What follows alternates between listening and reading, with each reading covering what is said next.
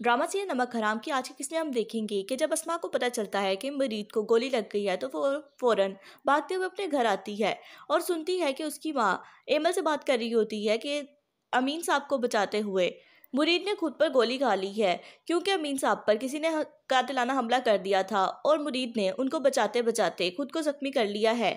असमा की माँ उसे हौसला देती है कि तुम फ़िक्र मत करो, लेकिन वो कहती है कि मुझे अस्पताल जाना है और जब वो हॉस्पिटल पहुँचते हैं तो अमीन उन्हें बताता है कि मुरीद की हालत ठीक नहीं है। उसकी हालत डॉक्टर सीरियस बता रहे हैं। ये बात सुनने के बाद असमा रोते हुए फ़ौरन से मुरीद के कमरे के तरफ़ भागती है। दूसरी जाने मुस्तफ़ा को अमीन कुरैशी के आदमी ढूंढ लेते हैं और फ़ौरन से उस पर गोली चला देते हैं। असफन जो कि अमीन कुरैशी को बताता है कि मुरीद बिल्कुल भी ठीक नहीं है। आप लोगों को नुकसान पहुँचाने के पीछे यकीनन उसका हाथ है। तो अमीन उससे कहता है कि तुम मेरे अपने होकर मुझे बचा नहीं सके और उसने गैर होकर अपना फ़र्ज़ अदा कर दिया है।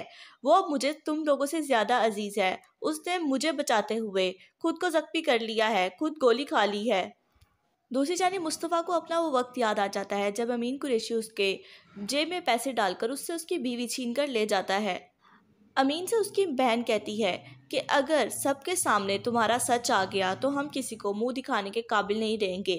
इसलिए तुम्हें अपना सच छुपाने के लिए कुछ भी करना होगा, चाहे तुम्हें किसी को कत्ल करना हो।